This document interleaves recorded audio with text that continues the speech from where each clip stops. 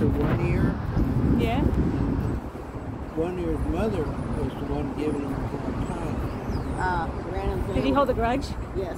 Well, I'm just wondering if One Ear's mother read that Doug had a thing for One Ear. No. Oh, huh. So mother was protecting him ahead of time. Yeah, and started protecting One Ear way before Doug started showing his true colors.